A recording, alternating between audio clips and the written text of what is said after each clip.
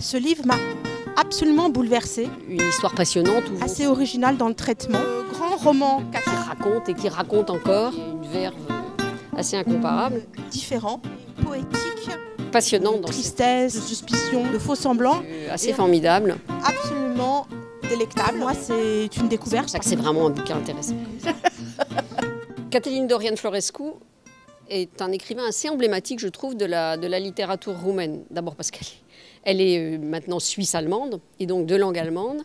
Et surtout parce que sa littérature, enfin son roman, euh, Le turbulent destin de Jacob Aubertin, euh, est vraiment typique de cette littérature roumaine traversée par l'histoire, hantée par cette histoire de l'Europe et surtout complètement au cœur de, cette Europe et des courants assez violents qui l'ont traversée. les ancêtres de Jacob Aubertin sont venus de Lorraine, ils ont traversé au péril de leur vie euh, la moitié de l'Europe pour se retrouver en, en Roumanie. Euh, il y a fort fort longtemps, bien avant que se passe euh, l'histoire de Jacob, qui elle se passe, commence du moins, commence un peu avant la Deuxième Guerre mondiale.